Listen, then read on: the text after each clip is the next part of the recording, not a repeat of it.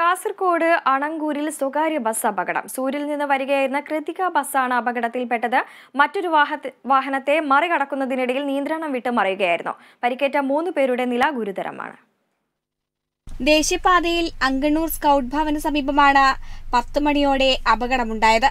കണ്ണൂരിൽ നിന്ന് കാസർഗോഡേക്ക് വരികയായിരുന്ന സ്വകാര്യ ബസ്സാണ് അപകടത്തിൽപ്പെട്ടത്. ബി സി റോഡിൽ സിവിൽ സ്റ്റേഷനിൽ ഉദ്യോഗസ്ഥരെ ഇറക്കിയ ശേഷം മറ്റൊരു ബസ്സിനെ മറികടക്കാനായി അമിത വേഗതയിൽ ഓടുകയായിരുന്ന ബസ് നിയന്ത്രണം വിട്ട് മറിയുകയായിരുന്നു ഡ്രൈവറും കണ്ടക്ടറും അടക്കം ബസ്സിൽ ഏഴുപേരാണ് യാത്രക്കാരായി ഉണ്ടായിരുന്നത്.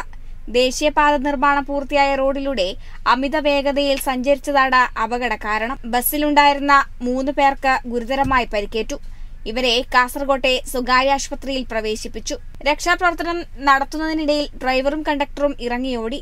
കാഞ്ഞങ്ങാട് മുതൽ ബസ് അമിത വേഗതയിൽ സഞ്ചരിച്ചെന്നാണ് യാത്രക്കാർ പറയുന്നത്.